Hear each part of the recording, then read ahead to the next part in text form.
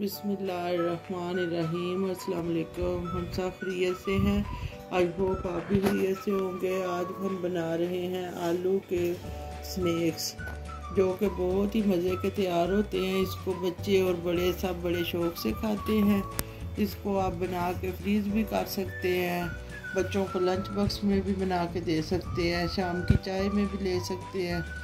ये बहुत ही मज़े के तैयार होते हैं। और आप अगर मेहमान घर में आ जाएँ तो आप इसको फ्रीज़ किए हों तो जल्दी जल्दी निकाल के बंदा बना सकता है। ये बहुत ही मज़े के तैयार होते हैं। पानी को मैंने ऊपर रख दिया और अब आलू मैंने मोटे मोटे काट लिए हैं। इनको मैं उबलने के लिए रख दूँगी। इस तरीके से आप छिलका उतार के ना मोटे मोटे काट लें। अगर आपने किसी भी चीज़ में डालने हो, चाट में डालने हो, किसी भी चीज़ में डालने हो तो ये बहुत ही आसानी के साथ आलुओं को मैंने अच्छी तरह धो के, छील के, काट के, इनको ऊपर मैंने रख दिया चूल्हे के उबालने के लिए। तो मैं एक टीस्पून नमक शामिल कर दूँगी। आप अपने आलुओं के हिसाब से डाल सकते हैं। मेरे जितने आलू थे, मैंने उनके हिसाब से डाल लिया और अब इनको मैं उबाल लूँगी। दस पंद्रह मिनट में ये उबल जाएँगे। अब आलुओं को मैंने अच्छी तरह उबाल लिया और अब इसको मैं कद्दूकश के साथ इसको बरीक बरीक कर लूँगी। इसके ऊपर क्योंकि इसमें मैंने गुटली नहीं रखनी, इसको बिल्कुल मैंने मूलियों की तरह कद्दूकश करना है। इस तरह से।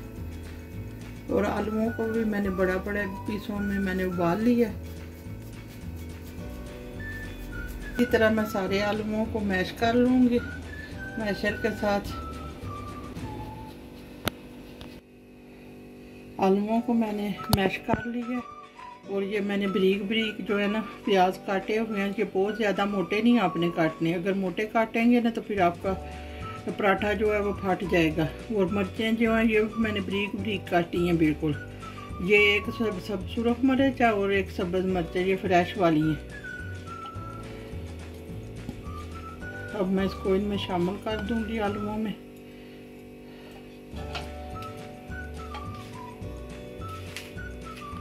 ये दो चम्मच खुशक धनिया और ज़ीरा जो है ये मैं इसके ऊपर डाल दूँगी। ये मेरी चम्मच छोटी थी, इसलिए मैं और थोड़ा सा डाल रही हूँ। अब इसको मैं गरम करने के लिए रख दूँगी। अब इसमें मैं आधी टी स्पून ये सुरख मिर्च शामिल कर दूँगी। एक टीस्पून इसमें मैं दड़ा मिर्च शामिल कर दूँगी। एक टीस्पून इसमें मैं नमक शामिल कर दूँगी। आप अपने मसाला चीज़ों के हिसाब से डाल सकते हैं। अगर नमक, इस टाइम आप सारी चीज़ों को मिक्स करके इसका नमक भी चेक कर सकते हैं। अगर कम या ज़्यादा हो तो और शामिल कर सकते हैं। कम हो तो और शामिल कर सकते हैं। इसलिए थोड़ा ही डालें ताकि ज़्यादा ना हो इसमें। और ये मैंने खुश्क धनिया जो ज़ीरा इसको तवे पे भून लिया अच्छी तरह। अब इसको भी मैं शामिल कर दूँगी। ये आधी टी स्पून इसमें मैं अजवैन शामिल कर दूँगी। अजवैन की भी बहुत ही प्यारी स्मेल आती है। अगर आलुओं में आप डालें ना तो बहुत ही मज़ेदार लगती है। और ये मैंने खुश्क धनिया जो है इसको फ्राई किया तवे के ऊपर। और इसको अब हाथों में मसल के अच्छी तरह, इस तरह से फिर बहुत ही प्यारी खुशबू आएगी धनिया की और जीरे की। इसको मैं मसल के डाल लूँगी। इस तरह से बहुत ही अच्छा मसल जाता है। अब सारी चीज़ें मैंने डाल ली हैं, मसाले जो मैंने डालने थे, ये घर वाले मैंने मसाले शामिल किए हैं। और अब इसमें मैं एक लेमन जूस जो है वो शामिल कर दूँगी। इससे बहुत ही मज़ेदार आलू तैयार होते हैं। और अजवैन और आप ये लेमन जूस डाल लें तो इससे, इसके बहुत ही ज़्यादा बेनिफिट हैं। जो अजवैन से तो बहुत ही जल्दी चीज़ हज़म हो जाती है और ये पेट के लिए भी बहुत ही अच्छी होती है। ये मैं पूरे लेमन का जूस इसमें शामिल कर दूँगी।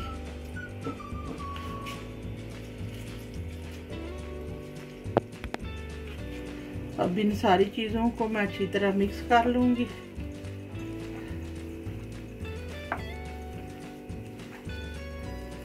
अब सारे मसाले मैंने आलुओं में मिक्स कर लिए हैं। अब इसमें मैं ये धनिया, ढेर सारा डाल दूँगी। धनिया से आलूओं का टेस्ट और भी ज़्यादा हो जाता है। ये फ्रेश धनिया है। अब इसको मैं अच्छी तरह मिक्स कर लूँगी। अब मसाला हमारा रेडी हो गया है। सारे मसाले मैंने इसमें शामिल कर दिए हैं। ये एक कप मैंने मैदा लिया है और इसमें अब ये आधी टी स्पून आधी टी स्पून इसमें मैं साल्ट शामिल कर दूँगी। आपका जितना आटा हो, आप उस हिसाब से डाल सकते हैं। ये अब थोड़ा सा इसमें मैं ऑयल शामिल कर दूँगी, दो टीस्पून के बराबर। अब इसको मैं पहले हाथों के साथ अच्छी तरह मसल लूँगी ऑयल को, और उसके बाद इसको मैं गूंद लूँगी। ऑयल को मैंने अच्छी तरह मैदे में शामिल कर लिया और अब इसको मैं गूंद लूँगी।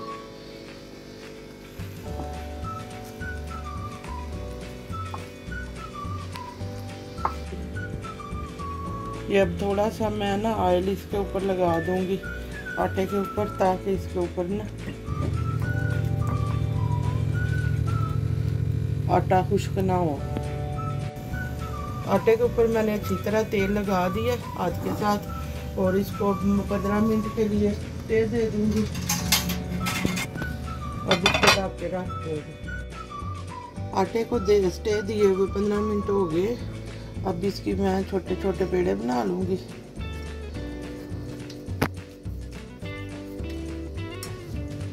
यह एक पेड़ा मैंने बना लिए और इसी तरह मैं तैयार कर लूँगी। मैंने पेड़े बना लिए। अब आपको मैं दिखाती हूँ कि इनको मैं किस तरह बनाऊँगी।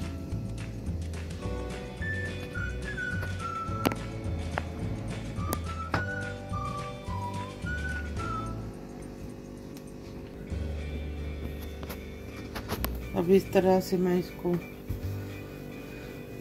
बेलने के साथ बेलती जाऊँगी, गुलाई में।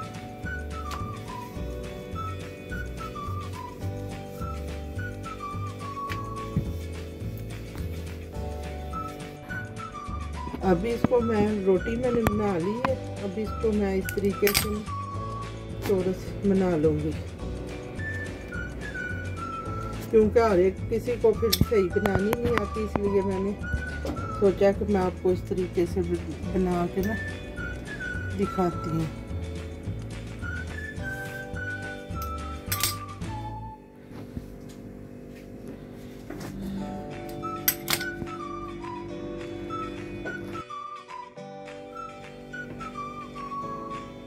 ये अब इसके अंदर मैं इस तरह से फिलिंग लगा लूँगी।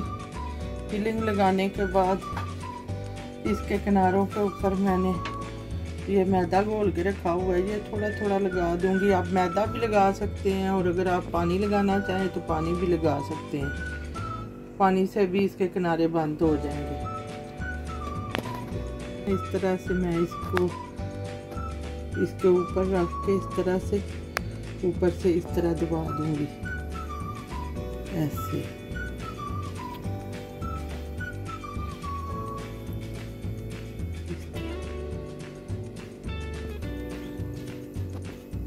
खाना खाने वाला जो जो कांटा होता है ना, इसकी मदद से इसके ऊपर मैं इस तरह से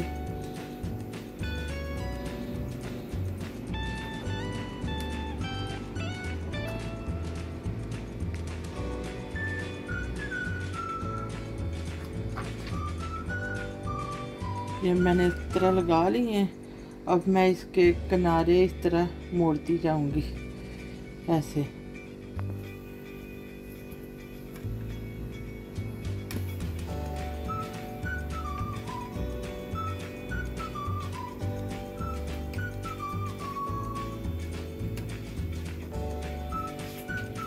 अब ये हमारा दूसरा समोसा भी रेडी हो गया।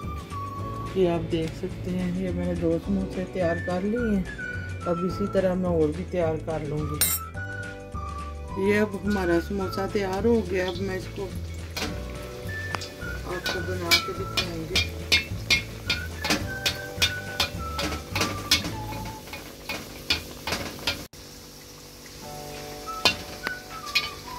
ये आप देख सकते हैं, हमारा कितना प्यारा समोसा तैयार हो गया। गोल्डन गोल्डन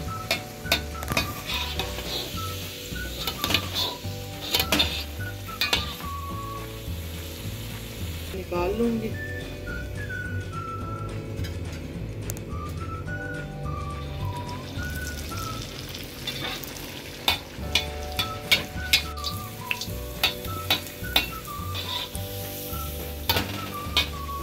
अब इसी तरह मैं सारे समोसे तैयार कर लूँगी। इसको आपने ज़्यादा तेज़ आँच पे नहीं बनाना, इसको आपने हल्की आँच पे बनाना है। पहले तेल को फुल गर्म कर लेना है और फिर आँच आपने आस्था कर देनी है और इसको हल्की आँच पे बनाना है। ये आप देख सकते हैं हमारे कितने प्यारे समोसे तैयार हो रहे हैं। अब मैंने आँच नीचे से बिल्कुल आस्था कर दी है ये आप देख सकते हैं कितना प्यारा गोल्डन गोल्डन हमारा समोसा तैयार हो गया। अब इसको मैं निकाल लूँगी। और इसकी साइड पलट लूँगी। अब इसी तरह मैं दूसरे भी तैयार कर लूँगी सारे। अब इसी तरीके से ये मैं और एक, दो समोसे बना रही हूँ। ये इसकी गोल रोटी बना के मैंने इसके अंदर भी फीलिंग लगा दी है। और अब इसके किनारों के ऊपर ये मैं मैदा लगा दूँगी इस तरीके से।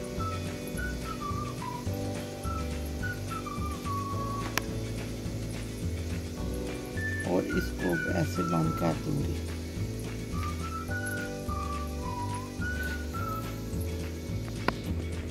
ये मैं कांटे की मदद से इस तरह ये डिज़ाइनिंग बनाऊँगी।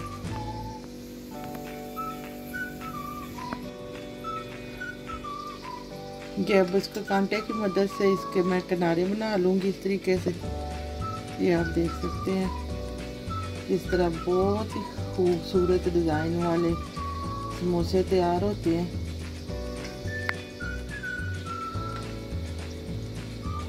ये और मैंने एक डिज़ाइन तैयार किया है। ये भी अब मैं आपको बना के दिखाऊँगी। देख सकते हैं कितने हमारे फूल के जो है समोसे तैयार हुए हैं, कितने प्यारे। आलू के ये स्नैक्स समोसे पसंद आएँ तो मेरे चैनल को सब्सक्राइब करें, मेरी वीडियो को लाइक करें और अच्छे अच्छे कमेंट करें। दुआओं में याद रखें। अल्लाह हाफिज़।